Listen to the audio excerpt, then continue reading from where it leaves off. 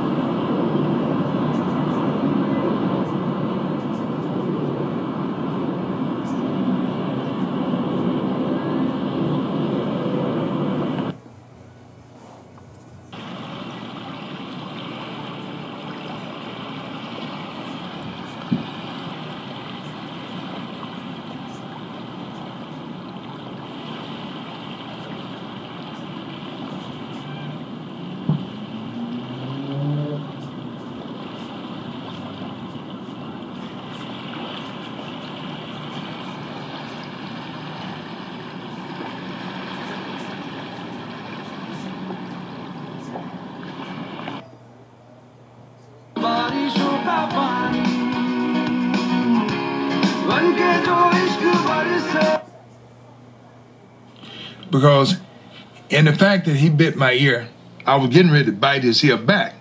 It just so happened my corner people were saying, "Oh man, no," they knew they knew what I was getting ready to do. Because you know, You would have bit his ear off back. I, yeah, I'm the, I'm the, I was in that mindset to do that because I'm from the ghetto, just like he from the ghetto. Anything somebody do to you, you do it back, and you do it worse.